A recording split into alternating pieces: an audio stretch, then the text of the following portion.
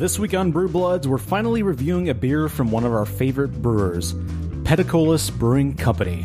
And the news hits close to home since Miller Coors has bought a majority stake in Revolver Brewing out of Granbury, and we discuss the impact of that sale. So settle up, beer buddies. This is Brew Bloods. Drink beer. Think beer. You're listening to Brew Bloods.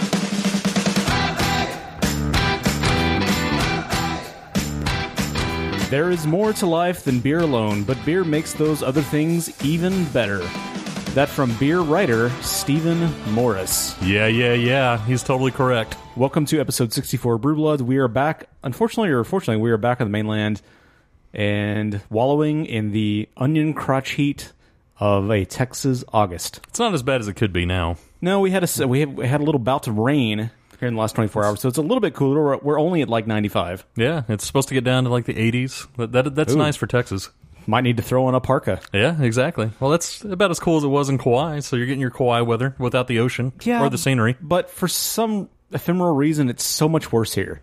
Maybe because I'm not living in paradise. That's just because you hate it here. Maybe because I'm not running down the beach slowly in my onesie, rescuing children. Yeah, it's uh, very uh, red hot chili peppers of you. With So just it- this very slow motion with your man boobs bouncing. That's right. Just like Pam Anderson. very Anthony Kiedis of you. Way less sexy, though. Yeah. Well, you know.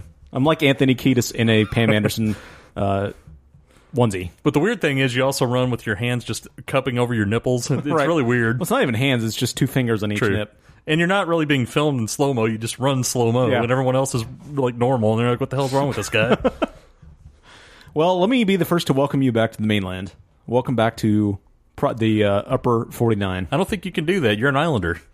I'm well. I'm here though, and I was here first. I set uh, foot on the ground first, so let me welcome you back. I don't think that's true. I think it is. We had a seat further ahead than you, and uh, we actually got off of the plane first. well, let me be the first one to welcome you back to the mainland.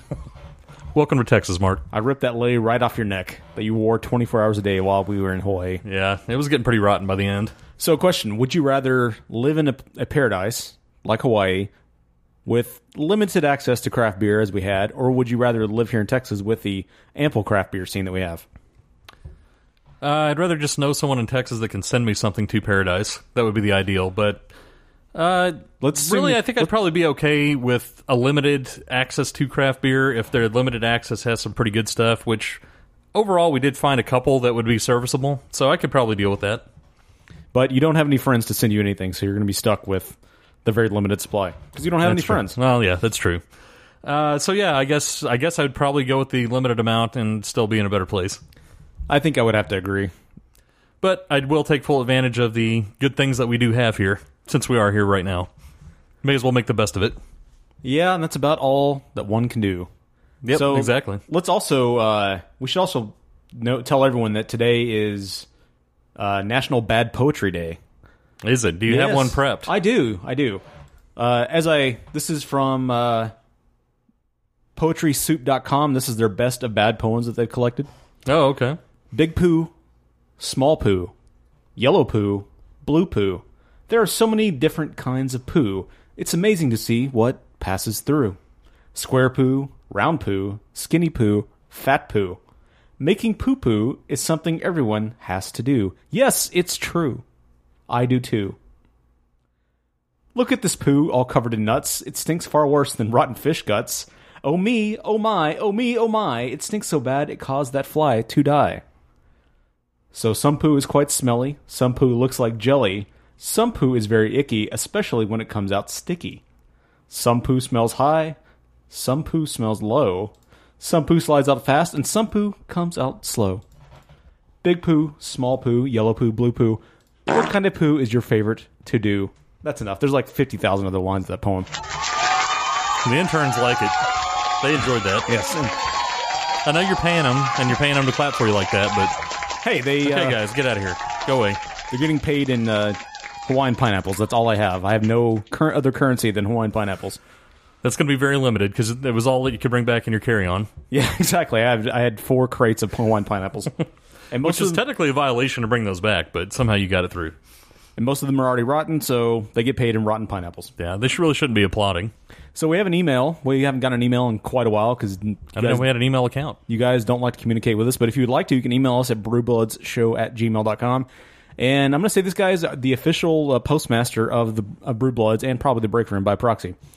Uh, this guy, James, we'll call him James T. I want to keep protect his identity, although I will give it his, his social security number here at the end of the email. But Sure. he says, uh, quote, I have spent the last two weeks binge listening to your show and I'm really enjoying it. I'm not sure if there ever was an explanation of where Out Go Out came, came from, but it cracks me up when you guys play that. I'm a mailman, so I've been listening out on the street and you guys have made me laugh out loud more than a few times. My customers must be wondering what the hell I'm doing out there. Keep up the great work, Jim T, the postmaster of Brew Bloods. Well, thanks, Jim T. Appreciate that. Yeah, I really appreciate it, especially the fact that we now have an official mailman. Somebody can That's finally true. deliver us our beer without breaking it. Yeah, we can actually finally get our mail. But uh, the official explanation of out go outs. Uh, some people love it.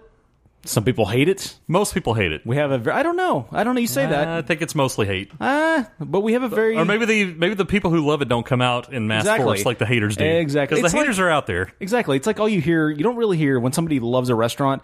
You don't see them go to Yelp. There's and a lot of leave hate, though. Not a lot of positive praise, but if there's hate, boy, somebody will let you know Oh, yeah. about that. I think it's the prairie mob. They, they don't like it for sure. Yeah, yeah, absolutely. But the official explanation is you, you probably have the full context here, but uh, at least of somebody doing it, like uh, somebody somebody famous. But I don't even. So back in the break room days, which is our other podcast, which is back up and running now. All right, gasoline. High five. Out. Go. Out. Go. So that was the original. All goes around that. Yeah, that was the original recording of when it started because there was a band called oh god, it was a Scottish Canadian band, and they had a song called Gasoline, Right. and High five was thrown It's- in there just because we had the Borat high five that we played all the Yes. time. Because we play a lot of drops on that show. the band was called Enter the Haggis, and they are a Scottish Canadian band, and they had a song called Gasoline, and somehow, I think I was just trying to get to break or get to the end of the show, and nobody would let me. I think it was probably going to. I think we because we used to play songs on the break room as Yeah. our break, and we used to try to promote bands. Uh, I guess when we had a listening audience, uh, maybe we didn't, and we just needed something to fill. But anyway, we used to do that. And you were saying all right because you always say all right, and we have plenty of drops that prove that. All right. Because you were trying to get to the break, and then you said the name of the you said the name of the uh, song, and then for some reason Dave and I were were shouting out, and then you said go, Yeah. like to get out of there. So out and go and out all got intertwined, and uh, we ended up with that little piece of gold. All right, gasoline. High five. Out. Go. Out. Go. And then we that became just part of the break room vernacular. Right. So much so that when we interviewed celebrities, we would get them to read these things. Now the go, I can tell you where the go came from. That was a uh, Mark and I have a favorite local radio station called The Ticket, and they used to play a drop from then head coach Bill Parcells where he said go, and so we were mimicking the way that he said go, or I was Yeah. in that drop, and uh, so it all just kind of came together. It was just a uh, It's an organic thing. an organic thing, and then for some reason that became our thing to do when we're Yeah. leaving a segment is out go out. Yeah, and then we extended that to interviews, and we got them to read our our wacky radio liners. Right. So like Morena Baccarin, you know, from Firefly and Homeland. Yes, This is Morena Baccarin from Firefly and Homeland, and you're listening to The Break Room. Gasoline, high, five out, go out. And then we had Glenn Morshower. Hi, this is Glenn Morshower, and you're listening to The Break Room with Mark, Dustin, and Thomas. Out, go out, gasoline, high five. And then we went to a, uh sci-fi convention here, the Dallas Comic Con, and we just had random people read that. that's why you hear Go out, exactly. gasoline, high five. That's why you hear random people yelling that. Yeah, that's where so that all it's came from. that's where it all came from, and it's it That's also where Gas online. came from that's where Gas Online came from. Yeah, because uh, our other third guy on the other show, Thomas the Tank, uh, mistyped the quote for Marina to read, and it said "gas online" instead. So Gas Online. it's all stuff. I don't know. It's Yeah. just stuff that all came together, and it's a weird organic thing. And uh, I can understand loving it or hating it, honestly, because I love it and hate it. and it doesn't. It's not just confined to the podcast. We use it in regular life too. So it's Right. just well weird. It's our weird friend friend speak. I guess. We say out, go out when we leave. Exactly. Yeah. So while we were gone, we missed a lot of news because we didn't. You know, once you're in paradise, who cares about news? You're you're amongst the palms and the the ocean and uh, you know all the new Pokemon you can catch. And so There was we even a hurricane coming. Mark was out there shirtless, just right. double birding it, no, I had saying the, take him away. I had uh, fingers over the nips, Well, true. but uh, we didn't pay attention to news. But we came back. You had thumbs on the nips, and then you were flipping it off, like off Oh, your yeah. chest. It was really weird, and I was doing a handstand at the right? same time. And slowly doing it, of course. And he's slowly prying open the butt cheeks Right. just to expose it to the world. Exactly. Uh, but we missed a lot of news, and uh, our like our friend Johnny B left several articles, and Stefan left some on our page, and we're not going to talk about those today because we unfortunately We have bigger news. we have bigger news, and it's and I, I'm sorry to do this, but we do have to get somewhat local, like really. So we're getting this this episode is really local. I don't mind Dallas. it. Hey, we are in Dallas, and I know you hate Dallas, and I just kind of like Dallas okay. But we are in Dallas, so we need to embrace where we are. Yeah, Get local. Get local. Get local on your ass. Ass. Home. Ass. Ass. Get local on your ass. so that's our official theme song for getting local. So we had two big stories come out this week, and uh, Johnny B also put this on our page, but we'd already heard about this. But local brewery Revolver. Thank, thanks for being Company. current, Johnny. Yeah, way to go, Johnny. uh, Revolver Brewing out of Granbury, which is a one of the mid cities here in the Metroplex. Not Grand means- Prairie. No, Gran Granbury. Granbury is not a mid city, actually. Granbury's not. Grand Granbury is south of Fort Worth. oh, I, okay. see, I Grand always get Prairie those- is a mid city. I never. I don't ever want to go there. It's like Dead Man's Land. I don't. I try not to go there, so I always get them confused. Grand Prairie is where you go lose all your money on the horses. Oh, that's right. Grand Granbury is south of Fort Worth. Right. There's too many. Just like there's too many belt lines. There's too many. Prestons. There's too many too many park lanes Grands. in Dallas. Too many Grands. Right. And frankly, too many Richland Hills. We don't need North Richland Hills and Richland Hills. Frankly, That's true. One of them They should need be, to merge. One of them. No, they should. One of them, them should just be detonated. Well, just make it one big Richland Hills. You don't need a north. Right. True. Just like we don't need uh, two Virginias. Dallas is like ten times as big as Richland Hills. Right. There's not like specific area called East Dallas and North Dallas. We call it that to tell, say the area, but that's not a township like North Richland Hills Yeah. is. Like we tell you where Dowdy Ferry Road is. Right. Because that's kind of the dead dog region. But Exactly. But uh, Revolver Brewing out of Granbury got purchased by 10th and Blake, which is a subsidiary, the craft division of Miller Coors. Now, when you say purchased, they took a majority stake. Majority stake, yes. Right. Much like they did with Terrapin and Hop Valley. And Revolver Brewing, not obviously not a nationwide brand. I think they still only distribute to Texas, but yes, they had over a million dollars in uh, sales or They, profit uh, last week or last year. they go to Dallas, Fort Worth, Austin, Waco, and surrounding areas. Generic. Yep. But they make their probably their most well known beer here in Texas is called Blood and Honey. It's no like doubt a- about it. It's not even close, I would say. Yeah, I don't. I mean, I can't recall anything making a mark on my my taste mouth. The only other beer. somewhat big one that they have, uh, I think, is probably uh, Sidewinder. That's mass, quote unquote, mass produced. Uh, their Mother's Little Fracker was kind of a big deal too for a little bit, but that's that's about it. Oh, and I had their Anodyne recently, which was a special release, which was a wine based beer. Uh, Yeah. it's a beer aged in wine barrels. So What? What? Before we even get into this, what's your uh, opinion on Revolver? Do you have an overall opinion? Um, I give them an okay, like uh, two thumbs sideways. I, the Blood and Honey to me is their standout beer. It's uh, I know uh, a lot of people don't necessarily like that beer, but if you're into spiced beers, it's a it's a really good beer. And I can't say I cared for too much, too many of their other beers. I think you like the. Fracker too, because we, Uh, I we may split a, we split a sixer to that, You're, you might be right, and you might know, be. It's in your dark wheel, uh, dark beer wheelhouse. Right. It, it- I probably did, but I can't say like they made a big mark of my life. They're no, they're no Lakewood or Peticolas, you know, as, for other local breweries. uh, or community or any of those. Community, yeah, yeah. and I, I would agree. Um, Even Rabbit Hole, I would say, has made a bigger mark on my life than Revolver. yeah, I would say I've probably had more, honestly, even more Franconia than I've had uh, than I've had Revolver. Um, Revolver's just not one I ever reach for. It's like you know, Blood and Honey's there, and if I'm in the mood for something that is a little different, I'll go for that. But normally, it's not like a I would say in Dallas, if you're going around and you're going to find common beers, Blood and Honey is one of those that's going to be there. And we'll get to some more stuff from Peticolas later, but it's going to be my last choice, honestly, usually. I'm usually going to go for whatever IPA or whatever else they have there from somebody else.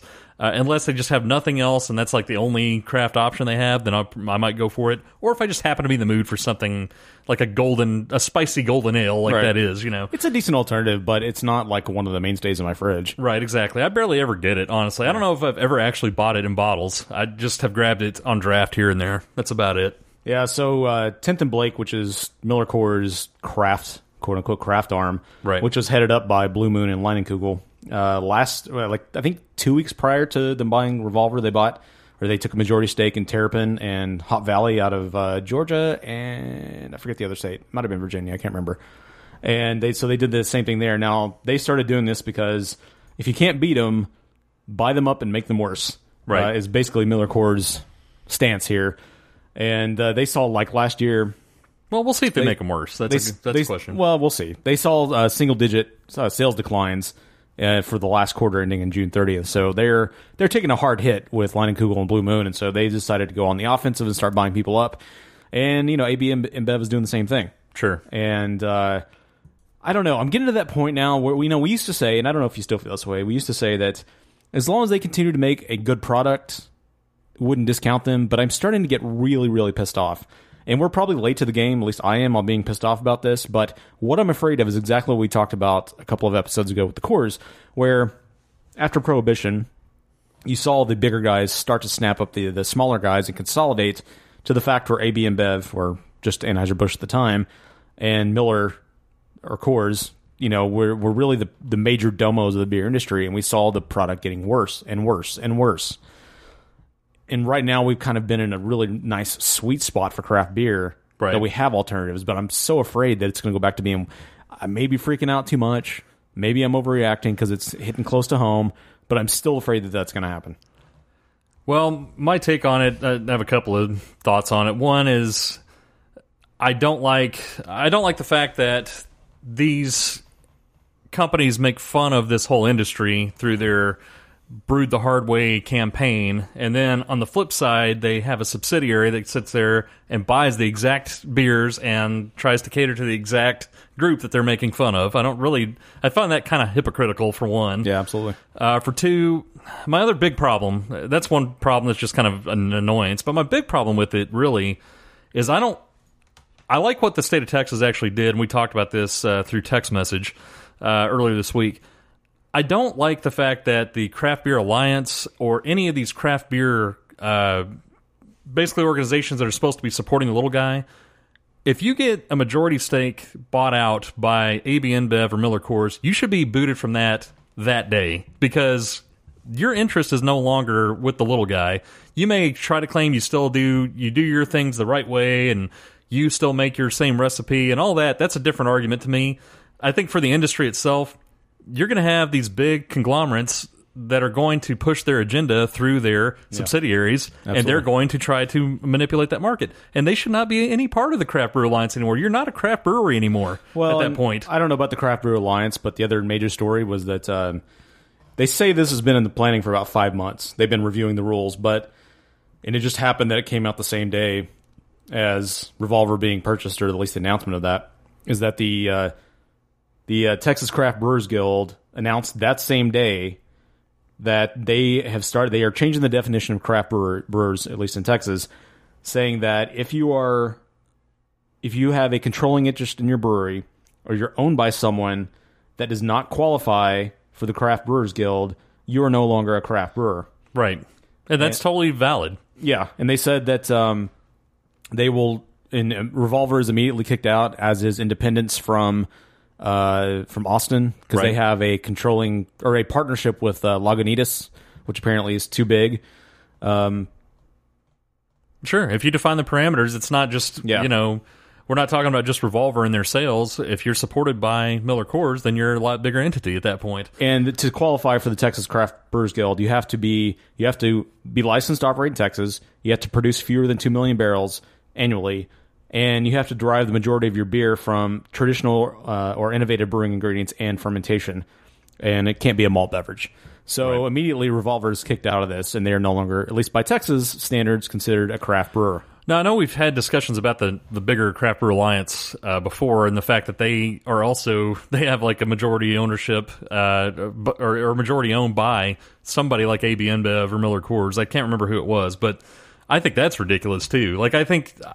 I think there's two sides to the coin because the people always say, "Well, are you being a hipster if you just don't drink it anymore because they're owned by the big guy?" And if I really like a beer, like if one of my absolute favorite beers uh, gets bought up, uh, let's just say Founders gets bought up by AB InBev or gets a majority stake, am I never going to have another uh, Founders beer? No, I'm going to have a Founders beer. I'm just going to tell you that right now. But I also think that the bigger craft beer guys need to not sell out and actually make a, a larger alliance that counters out this AB InBev and Miller Coors distribution uh, that they have such a corner on. Uh, I think that's. I mean, I know some people just want to get paid too, and whatever. You make a business.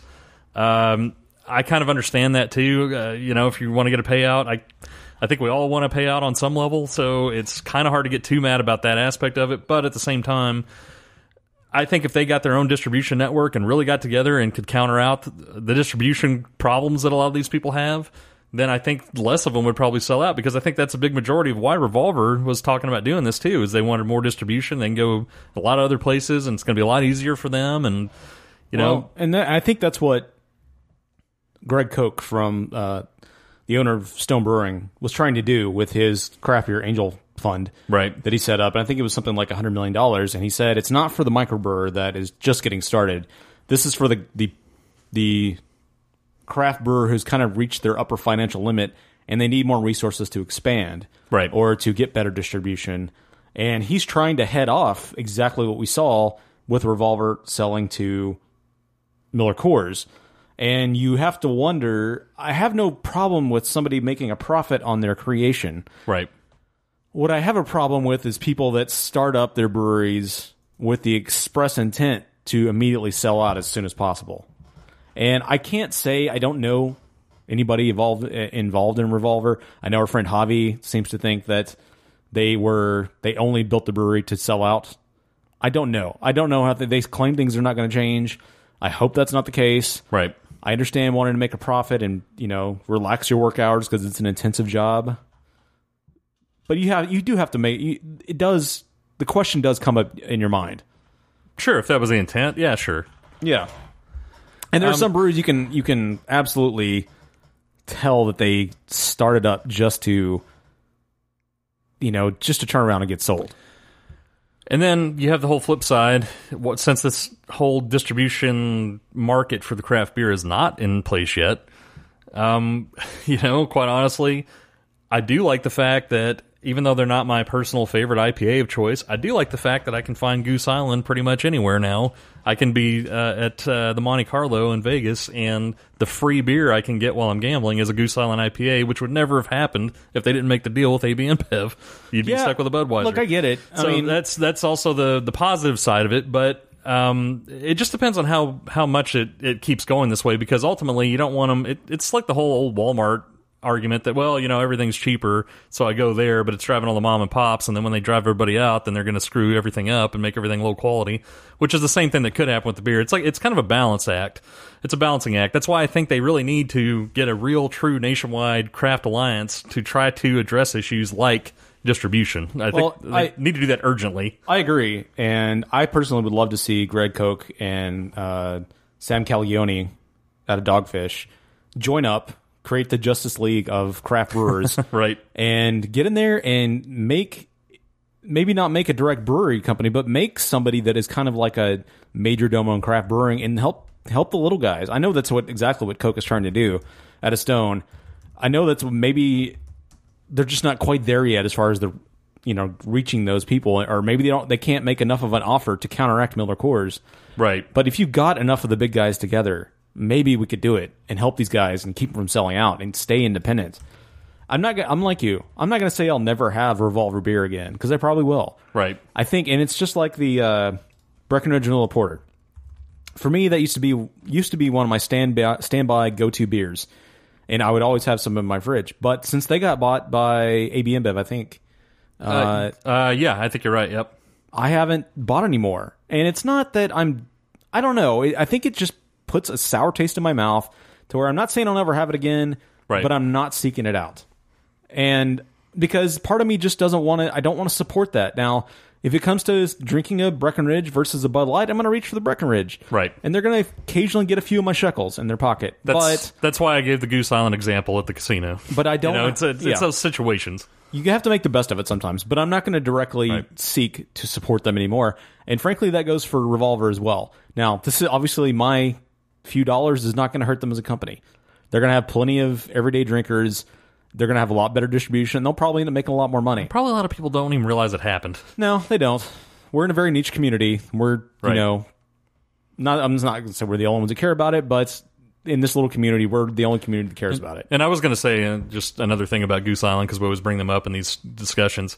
Um, the only thing I really ever seek out from them is their Bourbon County stuff. You know, I never, I never just go buy a six pack of Goose Island IPA.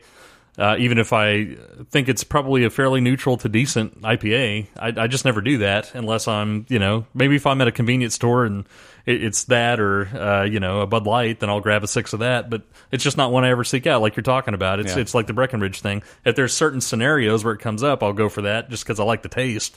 And again, that's the. I, I guess maybe that does help a little bit that it's bringing this kind of palate to the masses. Uh, so maybe they'll get more of a taste of the craft beer side. I don't know. I don't know any research on that or seen any you know stats on that. But yeah, you're not wrong in that. I, I just don't want to see the consolidation I did before. I don't Right. want us to return to the 70s. Sure. As, far as a just I honestly don't think that's going to happen. I don't but, But I get your fear. I, yeah, I, I don't either, but I, or at least I hope not. Yeah. I hope enough people will stay independent and realize that they can have, once they get to a point, they can reduce their hours. They can hire more staff. They, it's going to be tough up front. You're going to Sure. put in a ton of hours, but I would hope they can realize, like the independent owner of a restaurant, you can have a comfortable career and you can still maintain a family and you can still enjoy some nice profits. Now, you may not get five million in your Right. bank account one day, but you know you can still make a decent life out of yourself and and key as long as you. It just feels like people are not making beer the priority or making beer as an art, making art a priority. It's like Thomas Kinkade being an artist, Sure. to where at one point he was this master of light, you know, in his paintings, and then he kind of sold out for the money, and everything Right. was just everything was the same. Or Peter Max as an artist, everything's Sure. got super patriotic imagery, Right. and you're selling out just to make money. And I understand the drive for money, but Sure. at some point it just starts to feel uh, like you've your your soul is a desert, a, a waste, a wasteland. Such And- a, you're such a dirty hippie, Mark. And speaking of breweries that, uh, and by the way, uh, Goose Island. By the, uh, I have two points here. Goose Island announced two more recalls for the bourbon counties in the past week. Awesome. By the way, and then uh, Yeah, the- if they keep getting tainted, I won't go get those anymore either. yeah, Having already experienced the taint. and then uh, one of the breweries I was talking about that uh, was started that only had their mind, it seemed like, on making dollars was Dead Cowboy out of Rockwall. I don't think they ever produced one beer. They were selling shirts before they actually had the brewery open, Right. Or made one beer, and I don't think they ever officially started up. Their Twitter account is still somewhat active, but it's all somebody on Untapped, just the beers they're drinking now. But Right. anyways, it's a sad state of affairs, and I hope it doesn't. It's been they the, the Miller Coors and AB InBev have been particularly rapacious in the in the last few weeks, the last few months, and I hope it slows down somewhat. I hope we see our resistance. Like the force is with all of you. Just keep up the rebellion. Right. Exactly. All right. Well, on the other side of this, we're going to get to our very first Peticolas beer.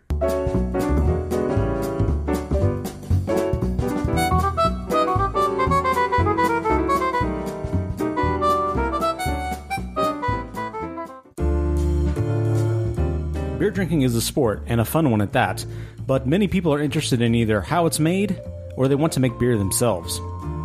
When you take a brewery tour, it may seem intimidating because of the giant vats, the space required, and all the manufacturing accoutrements. But when you break it down, all beer is made largely the same way, with some variations depending on style and recipe.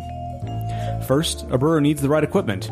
For the simplest setup, you need sanitizer to clean the equipment, a kettle for boiling, a container for fermentation, a secondary vessel for bottling, a large spoon or mash paddle to stir the boil with, and most importantly, the ingredients water, malt, yeast, and hops. Next, you need to sanitize all of your equipment, and I mean everything. Sanitization helps to prevent nasty microbes from destroying a beer, and it happens to many brewers from the home brewer to the big guys like Goose Island. After that, it's time to start the boil by filling your brew kettle with water and applying the heat. Once the boil starts, a brewer will remove the heat momentarily and stir in the malt slowly. When the malt has been stirred in, a brewer returns the kettle to the heat and lets it start boiling again. When the boil has started again, this is when the brewer adds the first batch of hops, known as bittering hops. Generally, after this, the boil is maintained for about 60 minutes, though this can vary depending on the hops used. When the hour is up, that's when the heat is turned off, and a brewer adds flavor and aroma hops and lets them steep for about 10 minutes. The resulting product is what's known as wort. Next, the wort needs to be cooled as quickly as possible to below 100 degrees Fahrenheit. There are many ways to do this, but some homebrewers use something as simple as a cold water bath or a cooler full of ice. Once the wort has cooled, the brewer then transfers it to a fermentation vessel, which is most commonly a carboy for the homebrewer. After that, more water is added to the vessel to bring it up to a full batch, which is 5 gallons for the homebrewer commonly. The final step before fermentation is adding yeast to the fermenter, also known as pitching the yeast. The fermenter is then sealed and the fermenter is moved to a clean, dark, and cool spot. Over the next 7 to 10 days, the yeast go to work converting the sugar in the wort to alcohol and carbon dioxide. Foam will begin to rise inside the fermenter as this happens. A brewer keeps an eye on the fermentation, and when bubbling slows or stops and the foam starts to recede, fermentation is done and it's ready to be bottled, though some recipes call for a second fermentation. The beer is then transferred from the fermenter to a bottling vessel and ultimately into your mouth.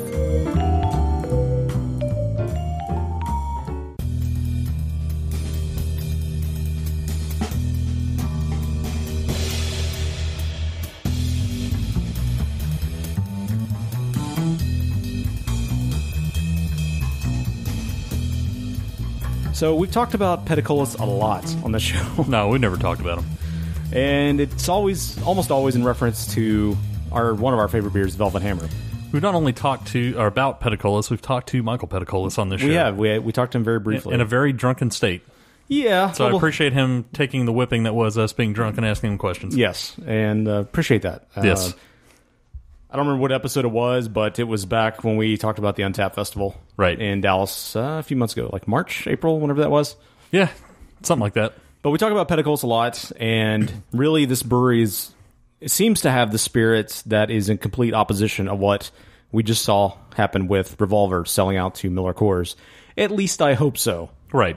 But Michael Peticolas and every, the whole team at Peticolas seems to embody that spirit of independent brewing and striving for not only creativity, but remaining small because they still don't bottle. And again, we're getting extremely local in this episode, but Yes. they still don't bottle. So you can only find it on tap. Right. And at your local growler shop, also on tap, of course. Right, and I would think that any indicators that we know as uh, extreme outsiders uh, seem to indicate that they do embrace that that mindset because he does use his uh, lawyer abilities to seemingly fight for the little guy and fight for the craft beer scene to try to make it better in Texas. So I, I mean, all all indicators point to the fact that he's not someone that's looking to sell out and make some cash. And I think uh, even um, this past Monday, he went to Austin to try. I can't remember the exact issue, but some issues coming up before the Texas legislature around. Uh, I'm probably wrong, but distribution or something like that. I think, and he was going back to fight. Thoroughly researched. Yeah, I can't. I read about it the other day, and I can't remember now. But uh, and I'm drawing a blank, and I don't want to stop to look up facts. But because facts, you know, they're just facts. Yeah, and he did weigh in on the revolver situation on his Twitter account. Uh, you could go find them. Uh, it's at Peticolas, correct? Yes, correct. Yep. So you could go there and. and What, what did he say? I didn't see that. uh, I don't want to misquote him, so I'm not gonna. T- I'm not gonna uh, quote it, but I know it was something along the lines of he basically doesn't blame him for doing it, but seems like something he wouldn't he wouldn't be pursuing. But uh, th- there's a lot of back and forth about a lot of back and forth about that, just because that was such a big deal locally, and they were you know. They're probably I don't know what they are in distribution comparison. I think Peticolas is is bigger, but Yeah, he said, uh, here, I found it. He said, personally, I'm happy for my friends over there. Saddened they are no longer craft brews or craft beer. Still love their current crew. So, yeah, exactly. Yeah, he's he's a, a small guy working for the, the big, the small beer scene and like trying to make things better from a law perspective. Not only, well, not only a, law perspective here in Dallas, but a beer perspective as well. And the, the brewery itself, I know, works for not only quality, but consistency. And they try to always have balanced beers. Absolutely.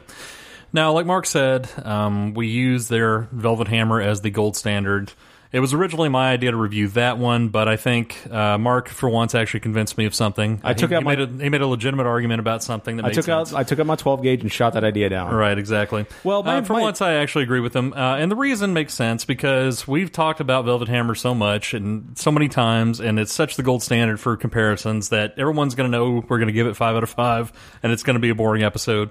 I agree with that argument; it makes sense. So we decided to tackle something different from them. Uh, another thing, just to mention about Velvet Hammer, um, you know, before we were talking about how uh, Revolver Blood and Honey is one of those. If they have a few craft taps, that always shows up. I would say that is also very true of Velvet Hammer. That that seems to be in a lot of local places, and it's one of your better choices. It's that's readily available everywhere. Yeah, if there if there's there's a few things guaranteed in life. One is that the Kool Aid Man at some point will randomly break break through the wall in your house Sure. and destroy your life uh, with AK-47s. The other is that Velvet Hammer will always be in tap somewhere in Dallas and almost almost every tap uh, situation here in the region. If they going to have find a something, Velvet Hammer. yeah, if they have something outside of just the standard few, uh, you know, AB InBev taps. You're going to find Deep Ellum IPA or Peticolas more Yeah. than likely. You're going to Velvet Hammer. You're going to find one of those two. Uh, Velvet Hammer is wide and far-reaching, and deservedly so. And that's why I didn't want to do that. That's why I took out my uh, tank and I blew dust in the face uh, with you know some. I didn't blow you in the face. I, I shot you in the face. Well. I blew you somewhere else, but, But I shot you in the air. face Yeah. uh, with uh, my shells and destroyed that idea. I knocked it right out of the air because I. You know what? I know you like our audience to be bored, but I don't like our audi- audience to be bored. Hey, I just wanted to talk about one of my favorite beers. That's I know, all it was. I know, So realize we're that. talking about it now around another review. So there you go. But I've I'm- still got to talk about it, and that's the important. I'm thing. trying to make the viewers happy. So just for an official record, Velvet Hammer five out of five. exactly. but we're sitting, we're talking today about another one that I think came out just last year, and I could be wrong on that. But it's called the Sit Down or I'll Sit Uh, You Down Double IPA. it's uh, listed as coming out on 9 9 uh, 2013. Oh, uh, I'm according to very wrong. Rate on Beer, that. Three years gone then. Never mind. For some reason I thought I, it was just last year, but uh, clearly I'm very wrong on that. yeah, very wrong. Very, very. So uh, before we get into that, here's a little bit about Peticolas Brewing. Peticolas Brewing Company is the brainchild of lawyer turned brewer Michael Peticolas. First inspired by his mom, Jackie Peticolas, and her homebrewed Mexican style beer, Michael has taken his passion and turned it into a praised DFW craft beer company. Michael turned from his career as a full time lawyer to embrace his passion for craft beer in 2010. Peticolas Brewing Company was born off of this passion in December 2011 when the first batch of Velvet Hammer was produced. Peticolas Brewing has won many awards since its creation, including gold medals from the Great American Beer Festival for their Royal Scandal, an English Pale Ale, and Great Scott, a Scottish Ale. In 2013, Michael was elected to the board of directors for the Texas Craft Brewers Guild, and after only one year, moved to the position of co chair of the Legislative Committee. From this post, he has made efforts to change archaic Texas state laws outlining the methods in which craft beer companies must handle their distribution. So the BJCP for Imperial IPA is that from appearance it should be anywhere from a golden amber to a medium reddish copper. The aroma should be a prominent to intense hop aroma. No surprise being an Imperial IPA. Uh, flavors should be that the hops are strong and complex, and you can see any, anything from American, English, and or noble hop varieties. Mouthfeel will be smooth to medium light body, and the overall impression is that it's intensely hoppy, very strong pale ale without the big maltiness and or deeper, deeper malt flavors of barley wine. So it's going to be a very, very strong beer. And typically, what we see in double IPAs is really the hoppiness is not, even it's called a double IPA, typically it's not as hoppy as you would expect of a, ra- and conversely, what you see in a lot of uh, single IPAs. Yeah, that's true. Um, and that happens even more so when you get up to the triple IPAs. Uh, some double IPAs can really wreck your palate, as we've talked about many times. But um, yeah, you're right. It does it does change as you go up. Uh, as you go up in hoppiness, I figure I guess they feel like too much pine, and it's just going to totally destroy your tongue, and you'll never want to drink again, and uh, you'll just curdle up and die. So at some point, they have to balance it out a little bit. It's yeah, it's an interesting paradox because you would think in, when you think of uh, double and triple, you would think it would get more hoppy and palate wrecking, but it's it's an interesting how it's conversely so. it is an interesting. It's an it's an interesting conversely so. Yeah, that's very true. Now, some of the other beers that they have, um, the one we're reviewing today is the Sit Down or I'll Sit You Down uh, Imperial IPA, and we'll get into that a little bit more. Uh, that one sits at a, uh, a nice 10% ABV. Petacola not a, not afraid to put uh, high ABV on their beers for sure. No, they're not. Uh, which I don't I don't have a problem with. But some of their other highly rated uh, beers, and we'll get again we'll get into the sit down here in a minute. Uh, the Duke, it's a barley wine. It's uh, it's at 92% approval and it came out back in 2013 and sits at an ABV of 12%. The Velvet Hammer, as we've talked about many times and even many times in this episode, has a 9% ABV. came back and came out in uh, 2012. Uh, and it gets 92% as well. The Great Scott is a Scottish ale, uh, or Scotch ale, uh, and it comes out uh, 6.8% and a 90. And then they have the Wintervention as well uh, that came back out in 2012, 10% and an 87% rating. So a lot of their big their big beers that are around uh, qu- most of the time uh, get pretty high ratings, and uh, most of them have pretty high ABVs. So Yeah, like the, the another one, the Peticolas Black Curtains. The Imperial Stout has an 11% ABV as well. So right, it's uh, you know, it's it, it sounds like to be especially boozy, but they're really. I will say this, and yeah, that's high ABV. But a lot of it. times you don't notice the booze. yeah, I feel like they many times, and I've, I don't think I've had everything that they put out, uh, Right. just because of missed certain seasonals here or there. But everything I've had is pretty well balanced, boozy, and, and I think they're hitting their mark there. I would agree with that, and they even make a different version of Velvet Hammer called the Sledgehammer uh, that I believe ra- ramps up the ABV in between 12 and 14 percent, depending on which version you get. And they also have the pick hammer too, which I can't remember what that comes in at, but that was a special release as well. Right, but even that one, not not really boozy, fourteen percent. So basically, if you go to a Peticolas brewery tour and you use all your tokens on uh, some of these high end stuff, you might you might want to Uber there and back. Yep. Because uh, it it can really uh, it can kick you pretty hard. I'll, put- I'll put it that way. I may have experienced it before. I'll put it that way. It's it, it can be dangerous. yes. Uh, now the sit down or I'll sit you down, like we said, comes in at ten percent ABV, and the official description is: back in the day, Michael Peticolas' brother Charlie was a cop, and cops filmed a few of his arrests. The best of which was or involved a deadbeat considering resistance to uh, his arrest. With baton drawn, Charlie demanded, "Sit down, or I'll sit you down." Since the episode aired over ten years ago, we've uttered the line a million times to one another and laughed every time. We're paying tribute to that line by using it to name our Imperial IPA, a big beer that will sit you down if you don't do it first. As for the beer itself, the intent is to exhibit the fresh and bright character of the hops. We dry hopped it with over a pound of hops per barrel. The hop bitterness is high, but not at all harsh. The hop flavor is high, fresh, and lively. Yet with all of our beers, we're all about balance, and this one is no exception. Yeah, that's some some interesting Sanskrit there in the middle. Yeah. I don't know what happened. now the ratings here, Beer Advocate gave it no score. What? Uh, How does Beer Advocate not give it a score? That's Who crazy. knows? Uh, Rate Beer, however, gave it a 96 overall and an 81 in style. Very solid. And Untapped gives it a 4.07 with out of 5 with uh, 5,307 unique reviews as of today. So even that's a little. I know they list this as a microbrewery, but I feel like Peticolas is big enough uh, in this area to have had more than that. But you know, Actually, I, would consider them for not bottling. I actually think that's a pretty high number of reviews. Yeah, I just feel like they're everywhere around here. Yeah, that's yeah, all. agreed. That's Agreed. And if somebody goes for a craft beer, I feel like people know Peticolas a lot of times. Um, just hearing generic chatter, you know, I'm always scanning all the generic chatter about always- craft beer. Right, you're always on the shortwave radio scanning, Pretty much, moving up and down the dial, up and down the dial. and I note every instance when it's mentioned. right, even on the Tejano stations. Oh yeah, it doesn't matter. Even though I don't know Spanish, I, I listen anyway. You're just like, Donde está Peticolas? Right, exactly. Craft beer, Donde está craft beer on the radio dial? exactly.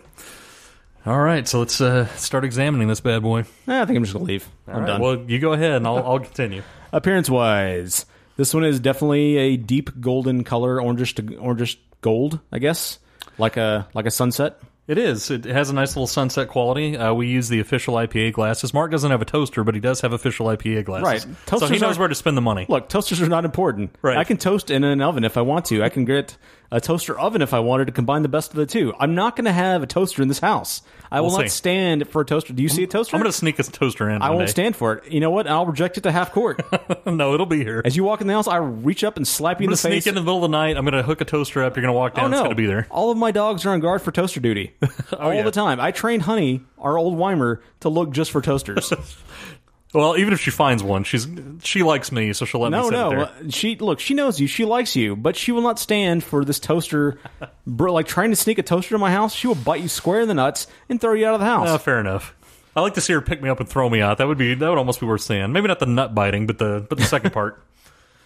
So yes, it does seem to uh, hold the appearance that the BJCP says it should. and it's it is unfiltered. Yeah, it's unfiltered and it's retaining a little bit of a head too. A little bit. Uh, we poured it uh, into our IPA glasses, which, if you're not familiar, you can probably do a Google image search on that. But it's uh, it's got a rib for her pleasure stem on it, It has a lot of lacing too. a lot of lacing, and then Yeah. the glass is like a, kind of like a bell on top, somewhat. It's not like a Somewhat. not like a tulip glass. Quite. It's not quite that sharp of a curve. No. but it's definitely tapered near the top. It focuses inwards uh, near the top. Yeah, it's it's it's like a skinnier. It's like a Richard Simmons. You know, if he actually dealt with a tulip glass and made it lose a little poundage, it's like a shrunken version of that. And then it adds uh, the stem instead of just having the standard little stem. It has the, like you said, ribbed stem. Right, ribbed for all of our pleasure, really. Uh, really, And if yeah. you want to compare it to a woman, it's like a pear shaped woman. If you want to like, speak to the fashion industry, it's a pear shaped woman. Yeah, absolutely. glass. But that being said, uh, I think it I think it definitely uh, holds up to the standards for visualization. Aroma wise, very, and like we've seen with some of our recent IPAs, very prominent uh, West Coast nose there. Yeah, very prominent West Coast nose, but it's also not extremely overwhelming. No, it's, not like a punch to the to the face or anything. Yeah, you you just tell it's there for it's sure. It's not like how my dogs attack you when you try to bring a toaster in this house. It's not quite that bad, but it but it's you know it's right. there. And I would say there's not really. I don't really get any malty aroma from Really, this I get I get a pretty good significant amount Really? of low I- malt. Yeah, I don't really get that as much. I do get the West Coast though. Yeah. This is in sharp contrast to the, the Imperial IPA we had last week, the Lanakai Moku Imperial IPA, which had no scent at all. Well, yeah, that one. Uh, it's a yeah. It's That's a all I can say about it. It's a yeah. But yes, this one definitely has definitely has the aromas that I would expect for this particular style. And like you said, good lacing on the glass and, uh, you know, decent head retention. Obviously, no bottle to review this week. No. This, yeah, came straight from the growler. And the only way you can get Peticolas. by the way, the, this, uh, this beer marks our first Snapchatty. Uh, I snapchatted this. If you want to sign it, if you, I don't, do you sign up for, I guess do you follow somebody on the Snapchats? I'm assuming Anyways, you download and create a username and follow people. Yeah, that would be my assumption. I don't, I don't really know how to follow anybody like outside of my Facebook friends list that it just like auto auto shows you everybody. But Right. anyways, if you know how to Snapchat, uh, you can find us on there. We're Brew Bloods, and I Snapchatted a couple of photos of this beer. So if you like the snappy chats, If that's a thing. it's I'm still not sure that I'm using Snapchat right because I'm an old, but. He might have just Snapchatted his wiener. He doesn't know. Yeah, I don't know, but at least it was next. to The beer was still in the picture. Right, exactly. As I was dipping it slowly, I did a Snapchat video and slowly dipped it into the beer. It's one way to consume it. But it wasn't my glass; it was yours. So congratulations, you're drinking my wiener beer. Let's see if it affects the taste.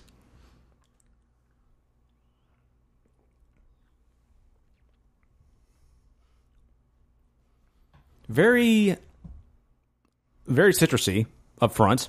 I would say somewhat like a Meyer lemon, in a sort of a in a refreshing fashion, not an astringent fashion, like a Yeah. like a Lysol lemon scent or something like that, or that you know retronasal thing we've talked about in the past, translating smell to taste. But like a kind of a sweet Meyer lemon. You know, this one, just to bring it back to other beers that we've reviewed, this one reminds me a little bit of the Hercules we did a few weeks ago. It's not, it's not quite. I think this is more citrusy than that one and a little more malty than that one. But I definitely get like some pretty strong piney back end uh, on the back of the tongue after you drink it. You get that nice, that nice citrusy malt on the front end, and then you get the piney on the back end, and that's I think that's what reminds me of that one. Yeah, you get uh, a nice lemony up front and a resiny on the back, and like it's Yeah. almost like you're hiking through some Northern California, like through the redwoods or something, and eating just And just picking up eating pine eating some pine, reason, just grazing up, on it. picking up pine needles and like Right. grazing like a cow, passing it through your second stomach as as we humans are wont to do, and then regurgitating and eating it all and over just- again. and eating blocks of resin. oh yeah, of course, just eating yeah, and then you you produce it, you you vomit it back it up, and you eat it again. It's almost like it's exactly what this beer is like. Except in a good way. Yeah, and of course, is there a Yeah. bad way to eat your vomit? No, I don't think there is. Uh, I think that could give it a bad uh, give a bad connotation. Maybe if you vomit it into a toaster and, and burn it and then try to eat that, sure, that's that's a bad way to eat your vomit. But you know, just your normal vomit, uh, you know, on a plate, eh, you can take that right down. You know, I would say on second taste, the pine edge seems to fade a little bit more. Second and third, second and third drink, Well, probably because your tongue is getting used to the the pine needles in your mouth. probably so. But I I feel like the citrus stuff comes out even more the more you drink it. The citrus definitely comes. You know, I know we look. everyone knows we hate fruit. We hate fruit. Any any fruit personification, they're going to get curb stomped in this house, in this Well, studio. We hate them being alive. We don't mind them being dead and drinking their blood. we don't mind drinking the blood, Yeah. and I'm thankful for their sacrifice here. I'm thankful that Peticolas took uh, took an AK-47 to their head and, and shot them into the vat. Absolutely. The little tiny Meyer lemons, because we all know Meyer lemons are always tiny. of course. they're the weakest of the lemons. But I'm glad. I mean, it really is becoming more fruit forward, citrus forward. Add the more you drink it, for sure. And the the mountains of California just kind of fade to the background. Yeah, they really do. Which that that makes it different from you know a a green flash offering or a Hercules. It definitely trans- yeah. those don't fade. I mean, you keep the you keep the piney resin taste the whole time.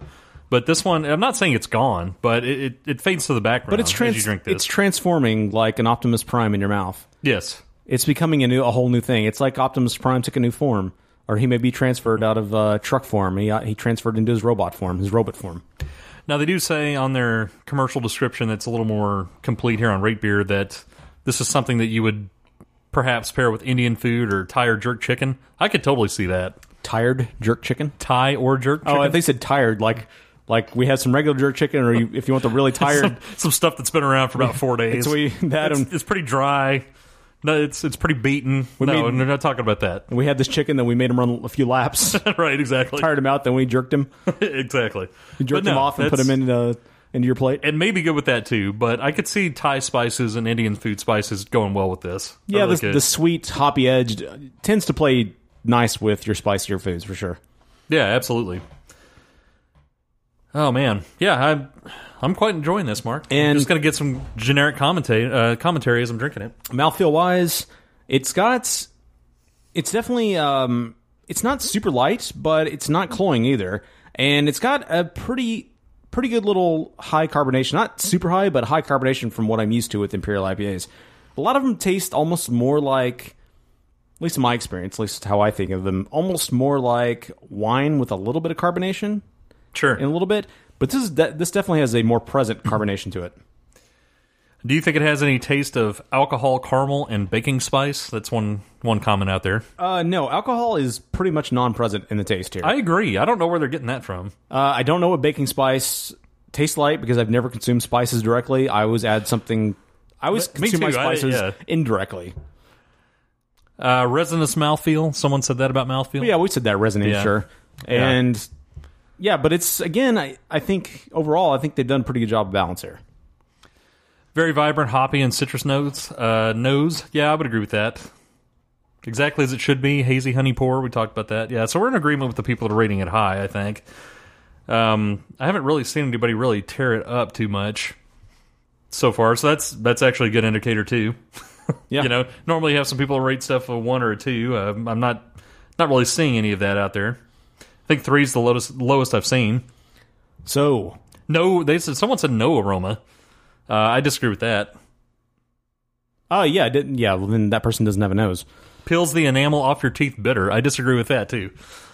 Again, someone doesn't have a tongue. Someone doesn't understand what bitter is and what the enamel on their teeth is. so ratings. Ratings. Why don't you go first, Dustin? Uh, okay, fine. I'll go first. Um, double IPA. That's a category that I hold in high regard. I love double, double IPAs. That is not breaking news to anybody that's ever heard this show before. And you love Peticolas. And I do love Peticolas, uh, Michael himself and his uh, his products. So I love every form of Peticolas. Uh, I don't know if he knew I loved him, but now he does. but yeah, I I really was looking forward to this beer. Um, again, we've talked about Velvet Hammer so much and how much we love that that I wanted to have another one uh, that was highly rated uh, to see if it did hold up uh, to the high rated uh, category that it is in. And I have to say, amongst the double IPAs we've had recently, and we've had some solid ones. The double, the, the Hercules double IPA is solid, uh, or we've had some solid double IPAs over the course of the show. Uh, we've had some pinnacles. We've had Pliny the Elder, um, Heady you know, Topper? Heady Topper. Yeah, I mean we've had top of the pops when it comes to to dippas, as Mark likes to go around saying. Mm-hmm. Hey, bro, I'm gonna have a dippa. Yeah, bro. But um, you know, so we've had those, and so this one, this was a brewery I held in high regard, and this is a beer style I, I hold in high regard, and it had a lot of hype going into it, so it had a lot to go against, quite honestly. Oh, I'm glad you're not lying to us once again. Yeah, no, I'm just saying that's a lot to go against. That's a lot of different factors, and it's that's a tough road to hoe. And I would say, I would say they did quite well. Um, I think this is one of the more balanced double IPAs I've had. Uh, if I'm in the mood for something that has a little more citrus and a little less piney resin taste, this is something that would fill that void or would fill that desire. So. Overall, I think uh, this is a really solid, uh, yet another really solid offering from a really solid brewery and I would give this one a 4.5 out of 5. I too have a strong affinity for Peticolas. No surprise. I'm not as much of a West Coast IPA fan, or I would even say as much of an IPA fan as you are. But we've had, like you said, it's been in good heady company, as it were. And And that's a nice throw to the heady topper. I like that. I don't know what you're talking about. Anyways, uh, haven't I don't think I've had this beer before now, and I'm only going off previously the high expectations we've had with and, and high results, great results with their other beers.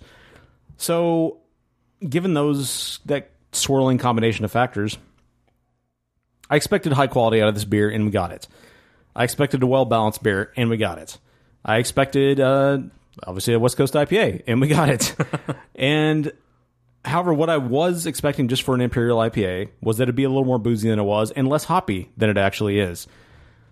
So within the style, maybe it doesn't exactly. It's not. It's it's a little bit of a square peg in a round hole situation because it's maybe it's not exactly following that. It's not as it's not a palate wrecker, but then again, a lot of IPAs aren't either. So it almost aligns more with, to me at least, aligns more with a single IPA, for lack of a better term, a regular IPA, than perhaps an Imperial IPA, which tend to be a little more boozy and a little more smooth drinking. Well, I would say maybe even a triple because triples tend to be less hoppy and more Uh, citrusy. maybe so, maybe so, maybe maybe it fits. It's to me, it's somewhere between a single and a double IPA. Yeah. it's not. It's neither here nor there, but it's a good beer. And to me, I, if I had to put a name or a, a label for this beer, it would be dangerous because it is uh, it is Johnny Dangerously. It's hoppy dangerously because it is ten percent ABV. It to me, it, it drinks like a regular IPA. Uh, and that's a dangerous thing. it's a, it's a lot like the Odell um, Mercenary right. a highly smooth, drinkable IPA that you could have a lot of and not even notice because We, you. we do need to bring Odell on to the show at some point. But and that's why it's precisely why it's so dangerous. And I've gotten in trouble with Mercenary before because you don't you don't notice the boozy flavor, and so your mind doesn't until you hit that wall and you're like face down, slobbering drunk. you know that that's precisely why it's dangerous. But That's when Mark Drunk tweets everything that's garbage. but it achieves the balance really, really well.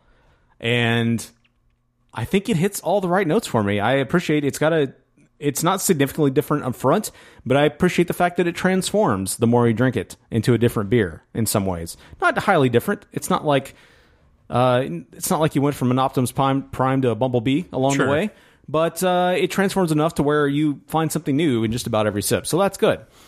So I too am going to give this beer. Boy, I it's it's I can't. It's hard to knock it on anything because I don't want to knock anything, but I don't think it's exactly what I was looking for in a in a uh, double IPA because it's not quite Just say as, Dippa. You want to say it. Dippa, whatever. It's Yeah. not quite as You smooth as that, it.